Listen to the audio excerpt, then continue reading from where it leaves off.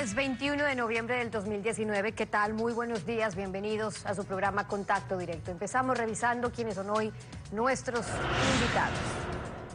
Nos acompañará María del Carmen Maldonado, la presidenta del Consejo de la Judicatura. Hablamos sobre la responsabilidad histórica de nombrar una nueva Corte Nacional. Después de 40 años de botín político, 28 de la partidocracia, 10 años de la metida de mano, ¿cómo se seleccionará a los nuevos integrantes? De 36 jueces de la Corte Nacional, solo 13 aprobaron la evaluación. Lo vamos a analizar. También estará con nosotros Ángel Gende, asambleísta del movimiento Alianza Sáchila, integrante del Bloque de Integración Nacional BIN. Se necesitan nuevos impuestos para los que más ganan o voluntad política de cobrarles. Los cuestionamientos que sirvieron de base al archivo del proyecto Trole deberían servir para el nuevo proyecto. Y además, José Cabrera, consejero nacional electoral. Todo cambia, pero nada cambia con nuevos integrantes del CNE y las mismas reglas electorales del arroz verde, el compromiso del CNE más allá de las reformas electorales superficiales que no tocarían al método de Hunt, al control de gastos a los candidatos ni a la publicidad del Estado. El ministro de Finanzas, Richard Martínez, busca consensos en la Asamblea antes de la entrega del nuevo proyecto urgente de ley de reforma tributaria. Ayer se reunió con los legisladores del Bloque de Integración Nacional y de Suma y expresaron su intención de trabajar sobre consensos y disensos del proyecto rechazado. El martes fue con Alianza País y este miércoles el ministro de Finanzas visitó a los legisladores de la bancada de integración BIN busca consensos para viabilizar la nueva propuesta de reforma tributaria. Con el bloque de Creo también, con asambleístas de, las bancadas, de todos. Es el momento de abrir el diálogo de escuchar sugerencias, tenemos valiosos aportes que nos permiten perfeccionar el documento. Con los legisladores de Suma la reunión fue más temprano.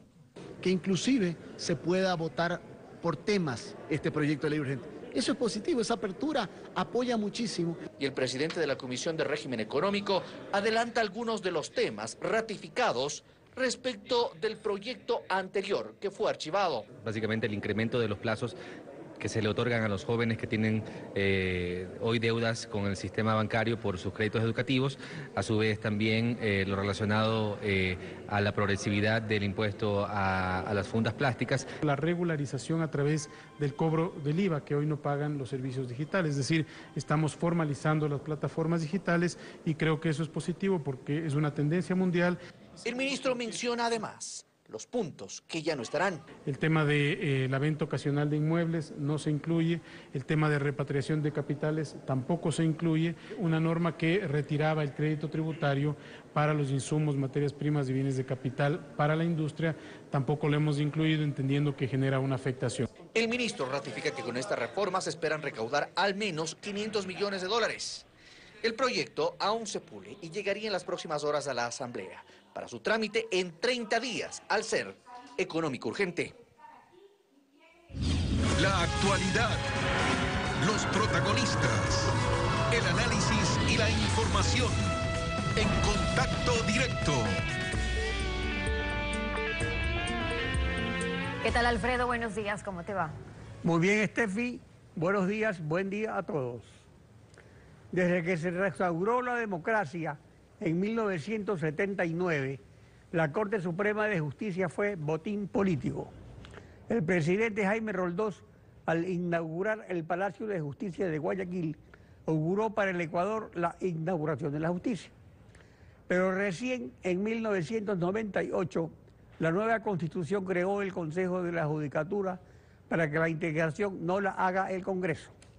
Entonces, el jefe de todos los jefes de la partidocracia barajó por última vez el naipe del reparto y designó el Congreso a jueces de por vida. El botín continuó hasta la metida de mano de Correa.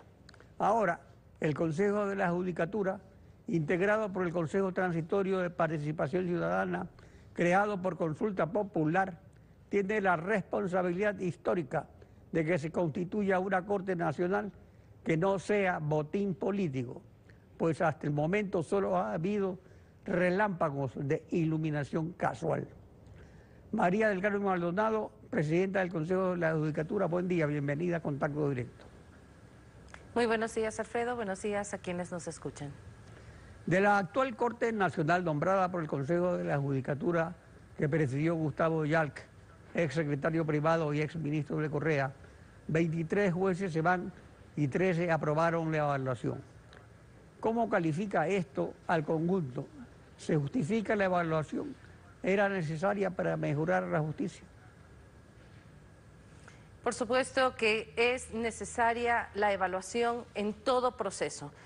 Por esa razón, la Constitución establece en su artículo 226 como un principio de toda la administración pública, no solamente de la justicia, el principio de evaluación. Por eso las empresas privadas también tienen procesos de evaluación constante. Por eso la cátedra, la docencia también tienen procesos de evaluación constante. Porque la evaluación nos permite crecer, nos permite identificar los puntos a mejorar y eso es lo que ha hecho esta evaluación.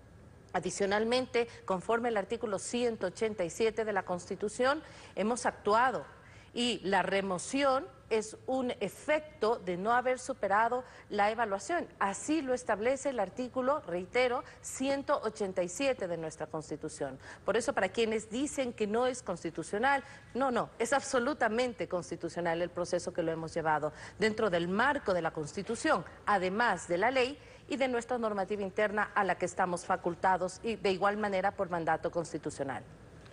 ¿Cuándo se podrá contar con una nueva Corte Nacional definitiva? ¿Cómo se seleccionará a los nuevos jueces? La Corte Nacional no ha suspendido sus funciones ni por un solo día. Hemos mantenido a inicios de esta semana una reunión con la presidenta de la Corte Nacional porque así lo dispone el Código Orgánico de la Función Judicial y hemos coordinado acciones.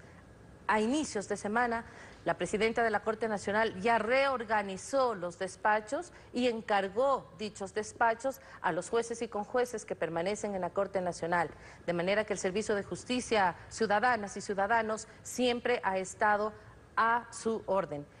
Eh, otro aspecto importante es que nosotros estamos conformando con, jueces temporales la Corte Nacional hasta que se nombren los eh, jueces y con jueces definitivos, con jueces y jueces definitivos que saldrán de un necesario proceso de oposición y méritos con, con impugnación ciudadana y veeduría, así como lo dispone la Constitución.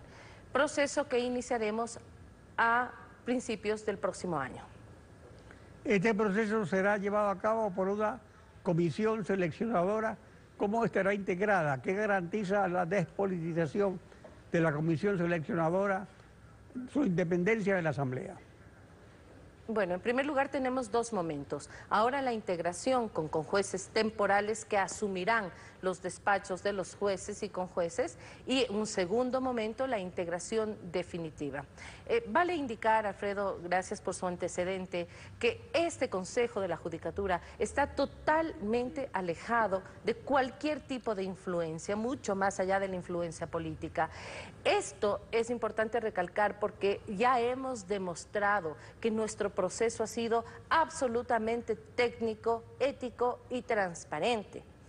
De esa manera seguiremos todos los procesos porque quien integra este consejo, quienes integran el consejo y, y además quien lo preside, somos juristas alejados del vaivén político. Nos interesa dejar, como desde el primer momento se dijo, las y los mejores jueces en la Corte Nacional. Eso es lo que hemos hecho, hemos cumplido con la ciudadanía y seguiremos cumpliendo. La coyuntura histórica actual de un cúmulo de procesos por delitos contra la administración del Estado hace imprescindible una administración de justicia profesional. En el Consejo de la Judicatura, sus miembros fueron candidatizados por el presidente de la República, la Asamblea y la Corte Nacional, según el esquema de la metida de mano que cambió Correa en la Constitución. Ahora, pero usted acaba de decir algo interesante, que todos son juristas y en la primera corte de Montecristi había, no había necesidad de ser jurista, según su experiencia. A futuro debería cambiar la integración del Consejo de la Judicatura. Yo creo que la integración del Consejo de la Judicatura como está prevista ahora es eh, adecuada ya que involucra a los órganos del sector.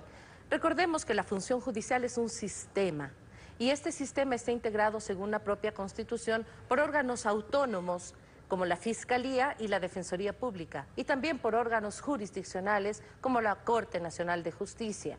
Siendo así, entonces, estas instituciones están enviando las ternas para la conformación, lo cual es correcto porque son órganos del sector justicia. Adicionalmente, pues se prevé otras ternas integradas por otras funciones del Estado, lo cual equilibraría un poco la carga de... Em, el sector justicia dentro del Consejo de la Judicatura. Sin embargo, la conformación como está prevista me parece la adecuada y también me parece la adecuada, eh, adecuado que quien provenga de la terna de la Corte Nacional, que es el máximo órgano de administración de justicia ordinaria, sea quien preside el organismo, tal como es este caso. Por la debilidad sistémica de una justicia tratada como botín político durante tanto tiempo, se debe reforzarla con una comisión internacional anti-impunidad independiente, con expertos de Naciones Unidas, que no dependa del Ejecutivo como ahora? Nosotros estamos trabajando permanentemente en nuestro primer eje de acción, que es la lucha contra la corrupción. Y en ese primer eje de acción hemos coordinado acciones también con distintas embajadas de otros países que están apoyando, con programas como por ejemplo Eurosocial, que nos ha venido apoyando en el esquema de una lucha anticorrupción. Igualmente estamos trabajando con otros organismos internacionales. Eh, la lucha contra la corrupción, y vale su pregunta, Alfredo, para indicar que no es es una lucha de la presidenta solamente, aunque estamos empeñados en eso, no es una lucha del, Pleno, del Consejo, ni de una sola institución. La lucha contra la corrupción en el sector justicia tiene principalmente como rol el eh, eliminar todas aquellas prácticas que muchas veces los propios usuarios y operadores de justicia las ven como normales. Aquello de tener que repartir al juez, al fiscal, aquello de tener que premiar económicamente a aquel que le facilite el trámite, eso es equivocado, eso es corrupción. Y con eso es con lo que hay que luchar pero no es una lucha individual de las autoridades, es una lucha de ustedes, colegas abogados, fiscales, jueces, operadores y sobre todo de los usuarios de justicia. Al ser una responsabilidad social, una responsabilidad del Estado, en ese caso no debería tal vez tratarse este asunto en la Asamblea con algún proyecto que permita ese reforzamiento. Nosotros en el Ecuador tenemos un marco jurídico bastante grande, bastante amplio. Estoy convencida de que la aplicación del marco jurídico pasa por la convicción de cada ciudadano de mejorar los procesos y los comportamientos propios y eso es una eso se aparta un poco del desarrollo legal eso ya es un desarrollo axiológico de cada persona y por eso mi llamado a los usuarios de justicia, a los jueces, a los fiscales, a los defensores públicos y a todos los servidores administrativos que integran la función judicial. Bueno, es parecido al sistema tributario, que la verdad es que la ley es suficiente si se la ve bien. Lo que falta es eso que usted dice, el, que cada uno cumpla con su deber. María del Carmen Maldonado, presidenta del Consejo de la Judicatura. Gracias por acompañarnos en Contacto Directo. Muchas gracias, Alfredo. Gracias a todos. Nos vamos a una pausa y eh, al regresar estará Ángel Gende, asambleísta del movimiento Alianza Sachi, la integrante del bloque de integración nacional BIN. Las razones de los aliados para el archivo del proyecto urgente, la propuesta de que más paguen los que más ganan. Ya volvemos. Quédese con nosotros.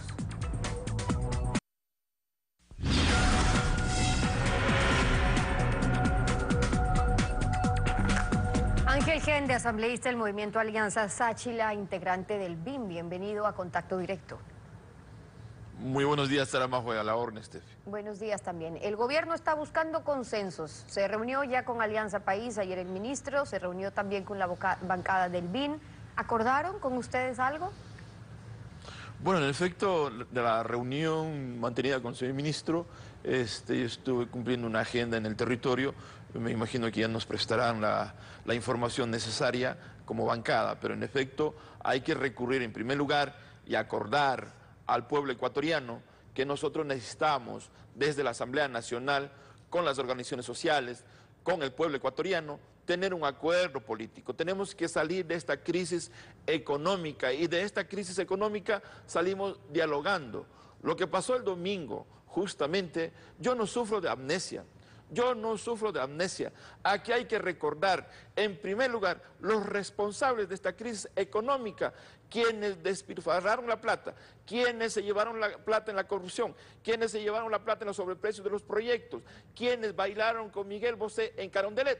Ellos son los responsables, entonces, por lo tanto, esto no significa que esta factura del despilfarro, que esta factura de la corrupción, le pasemos todo al pueblo pobre del Ecuador. Y entonces, ¿qué alternativas hay para quién va a pagar esa factura? Porque eso es lo que están discutiendo ahora y tendrán que debatir hasta quizás antes de Navidad que se apruebe el nuevo proyecto o no, es el plazo que tienen sobre la nueva propuesta del gobierno. Y uno de los reparos es que el proyecto, el primero que recibieron, tenía 400 artículos, decenas de libros y que por eso dieron oportunidad de incluir temas como por ejemplo la repatriación de capitales, que sonaba bien, pero resulta que en la letra pequeña permitían que al que pague un impuesto no se le investigue de dónde traía, si lava, si es uno más de los corruptos, o sea, regularizar el robo de la década pasada. ¿Por qué no alzaron la voz todos los asambleístas de que esto se estaba incluyendo?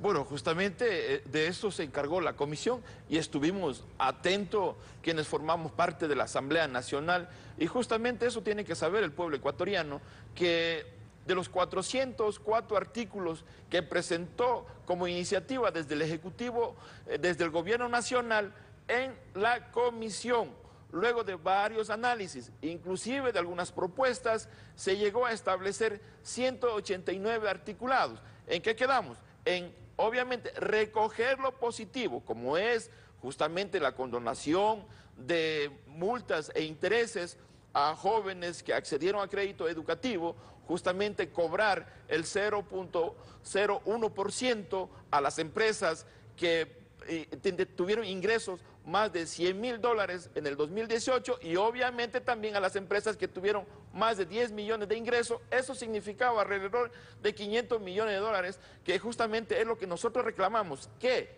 justamente esta situación den y aporten al pueblo ecuatoriano las empresas que tienen más poder, los 270 grupos económicos de nuestro país, que sean también, que contribuyan más, porque ellos son los que más producen y que obviamente... Pero en la cadena de esa producción, ¿no creen, asambleísta, que al castigar a las empresas que más producen, porque una cosa es a las empresas que no pagan lo que deberían estar pagando, porque ahí es responsabilidad del gobierno de cobrarles o de dejar de hacer favoritismos para no cobrar lo que corresponde, pero a las que sí pagan y a las que sí cumplen, si se les castiga con más impuestos de los que ya existen, porque también en las personas naturales los que más ganan, más pagan, eso ya existe, pero si va a decir, ok, un esfuerzo más, porque son los que más tienen. ¿No cree que eso repercute, porque ya se ha probado también, en toda una cadena de producción, que mañana incluso esas empresas lo trasladan al propio consumidor? Porque dicen que no, pero en la práctica lo trasladan al consumidor y después de tres años, ¿quién va a bajar los precios? Es la ciudadanía la que va a pagar la factura.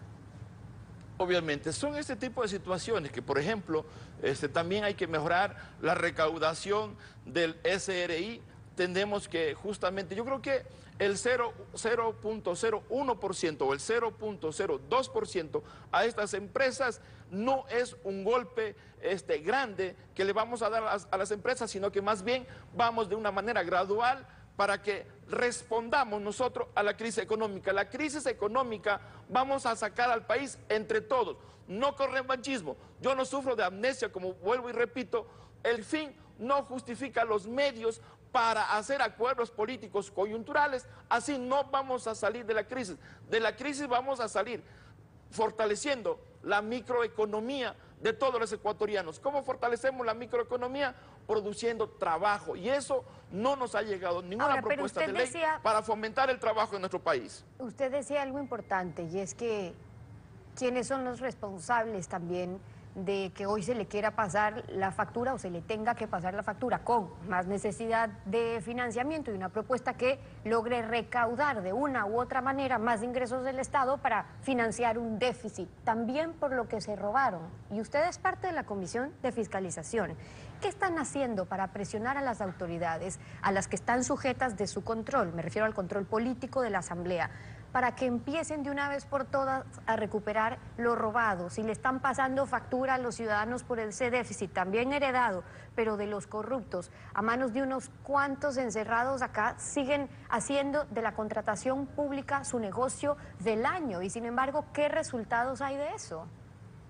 Bueno, en efecto, nosotros estamos trabajando macunadamente con la Fiscalía aportando. Nosotros ya enviamos nuestro informe desde la Asamblea Nacional, el caso Arroz Verde, estamos dando seguimiento al caso Odebrecht, hemos creado una subcomisión para investigar la ruta del dinero que justamente estarían pues por, por muchos, e inclusive se ha mencionado que, que, inclusive estarían en el Banco del Vaticano. Todo esto nosotros estamos trabajando de la en la Asamblea Nacional. Pero esto esto significa trabajar justamente para el pueblo ecuatoriano con transparencia, con responsabilidad social, no utilizar la asamblea para revanchismos políticos, entre de compadres, sino actuar de manera transparente en la Asamblea Nacional. Lo que pasa es que la ciudadanía, y también eso es parte del malestar que no se quiere contar, de quienes salieron a protestar en contra de unas medidas, porque hay una protesta legítima que sí rechazó ciertas medidas, porque sienten que le castigan cuando no se toman otras medidas de otro lado. Y, y la ciudadanía, el que le sigan diciendo, estamos trabajando con poco o nada de resultados, cansa. A propósito del caso, por ejemplo, de ciudadanos ecuatorianos, que ya se han declarado culpables en Estados Unidos, o sea, están aceptando cómo se maneja o cómo se manejaba la trama de sobornos para conseguir contratos con Petroecuador, cómo lavaban en Estados Unidos. Petroecuador aparecen miles de casos de corrupción, 11 procesos en Estados Unidos, 1.700 procesos judiciales acá en los tribunales por tráfico de influencias, por peculado, ¿Cuánto se podría ahorrar asambleísta si acabarían con esa mina para la corrupción en Petroecuador? Pero ¿qué, se, ¿qué han hecho y qué han deshecho lo que han querido con el petróleo de los ecuatorianos durante tantos años? No se diga con la intermediación legal en papel, robándole millones de dólares al pueblo ecuatoriano. Y entonces ahí también está la responsabilidad de quienes están en capacidad de fiscalizar a los que no están haciendo mucho, sino cobrando 2, 3, 4, 15 o 20 millones cuando estamos hablando de muchos más. Sí, en efecto, hay que tener en cuenta también nosotros no justificamos absolutamente nada, estamos trabajando, ya se conformó una subcomisión al interior de la comisión de fiscalización y justamente para dar seguimiento a, los dineros de Petroecuador y que ya están investigados en Miami. Hay que tener en cuenta también que el caso Odebrecht vino desde el extranjero. Acá hay que tener en cuenta que durante 10 años se metió la mano en la justicia, se metió la mano en la Asamblea Nacional, más de 100 asambleístas que aceptaron de todo, fueron parte de una corrupción enorme de este país. Desbaratar el correísmo lo siempre manifestado. Además, el gobierno nacional, con todo lo que ha pasado, ahí no, no tiene buenos asesores. Si bien es cierto, ahora que el señor ministro de Finanzas se está reuniendo con las bancadas, eso lo debió hacer anteriormente para socializar, para que no se cometan más errores, como el decreto 883, como la ley con más de 400 artículos, eso no permitía tener un consenso y trabajar por el bien del país. Ahora el gobierno está enrumbando en socializar, en dialogar. Ese es el camino que necesitamos los ecuatorianos. Para cerrar, se viene, se viene un nuevo proyecto ya, hay consensos para rescatar temas, hablaron de los créditos eh, a los jóvenes, mantener impuestos en IVA a plataformas digitales, impuestos a las fundas plásticas, pero ahí no está lo medular. Si van a querer recaudar 500 millones de dólares, como han anunciado, hay un golpe duro recaudatorio a algún sector. Desde el BIN, ¿qué plantean y qué apoyarán en el proyecto que van a recibir? Bueno, vamos, una vez que tengamos nosotros el proyecto, habríamos que revisar, pero justamente, por ejemplo, yo sí considero que en el 2018 la banca ganó más de 500 millones de dólares, también deberíamos de nosotros revisar un, eh, un impuesto eh, especial, porque aquí tenemos que contribuir todo, especialmente los que más tienen, más tienen que contribuir, y nosotros desde nuestro pueblo, que hemos aportado al desarrollo del país, mantenernos. Pero eso sí, ecuatorianos, tengamos la fe que vamos a salir todo adelante. Por eso hago un llamado al gobierno nacional, a las organizaciones sociales, porque no podemos poner en riesgo más a nuestro país y que a nivel internacional venga la inversión extranjera, porque aquí tenemos que producir paz y trabajo. La microeconomía se prospera y se fortalece con trabajo. Y eso es lo que necesita el pueblo ecuatoriano, paz y trabajo. Ángel Gende, asambleísta del movimiento Alianza Sachi, la integrante del bloque eh, BIN, acompañándonos hoy en contacto directo. Gracias por haber estado con nosotros. A usted muchas gracias. Igual 7 con 30, vamos a una pausa y al regresar estará José Cabrera, consejero del CNE. Falta menos de un año para convocar elecciones de presidente y asambleístas. ¿Serán las elecciones con las mismas reglas de Correa? No se vaya que enseguida volvemos.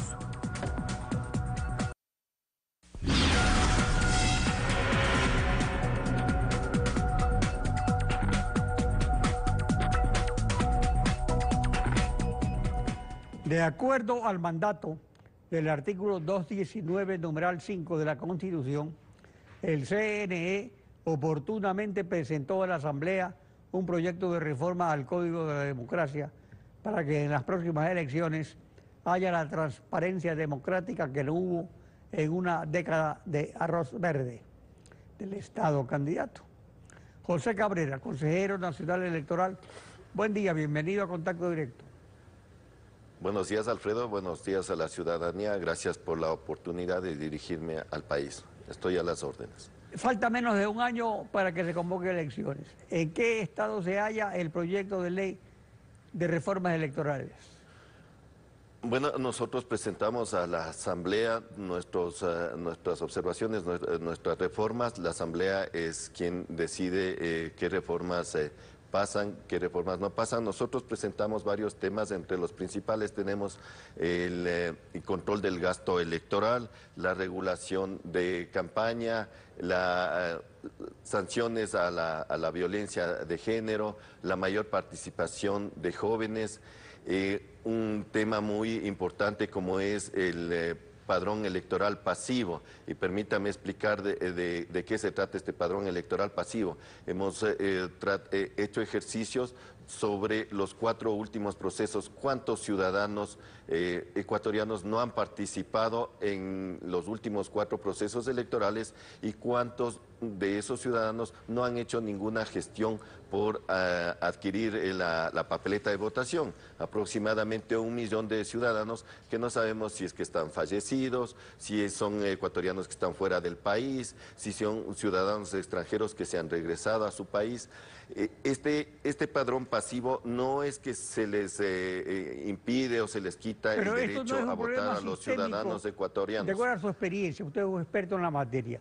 Por ejemplo, esto de que el registro civil depende del gobierno y de ahí sale el registro electoral. O sea, es prácticamente el mismo. Entonces el uno depende de, del municipio de Guayaquil y el otro, el nacional, depende del gobierno. ¿Cómo es esto? ¿No sería mejor que Así es, dependa Alfredo. del Consejo Electoral? Lamentablemente este tema de la información eh, que se nos entrega para armar el, el, padrón electoral está en la Constitución y nosotros no podemos eh, cambiar la, la, Constitución. Usted sabe los, uh, los uh, métodos por los que se puede cambiar los, los Así es, pues son de los la grandes líderes Constitución. que no dicen Entonces, nada. entonces nosotros por eso estamos viendo otra manera cómo trabajar, cómo depurar con ese padrón electoral para dar mayor tranquilidad a la gente, mayor eh, transparencia. Por esa razón estamos proponiendo. Terminando esta parte del padrón, le, eh, quiero indicar que eh, si un ciudadano está en el extranjero y quiere votar únicamente, comunica al Consejo Electoral su, su deseo de, de participar en el proceso e inmediatamente pasa al, al padrón activo. Ese es el tema del, del padrón electoral, eh, el del padrón pasivo. Esas son uh, las principales reformas que se está eh, presentando a la Asamblea. Esperamos que sean tomadas en cuenta eh, el día miércoles, eh, me parece Ahora, que fue pero ¿cuáles el, martes se terminó el debate y el, eh, el día viene a la votación la próxima semana con la elaboración del Pero ¿cuáles son los final. aspectos de las reformas urgentes para las próximas elecciones de presidentes y asambleístas faltan todavía en el informe de la Comisión al Pleno? Bueno, nosotros eh, hemos presentado varias, eh, varios temas, eh, incluyendo lo que es justicia electoral conjuntamente con el Tribunal Contencioso Electoral. Estas son las principales. Luego tenemos otras reformas que obviamente por el tiempo en la Asamblea nos han informado que no se podría tratar en este, en este periodo, más bien quedaría para luego que sean tratadas y para entrar en el proceso del 2000, 2023, en las seccionales del 2023, el, resto de, reformas. Hace 60 años, sin las facilidades informáticas de hoy, se seguía por radio en cada mesa los escrutinios y esa misma noche se conocían resultados. Hoy eso no es posible, no hay resultados. El sistema informático de escrutinios también es un fracaso sistémico. Eso depende de la reforma electoral o de la buena administración del CNE.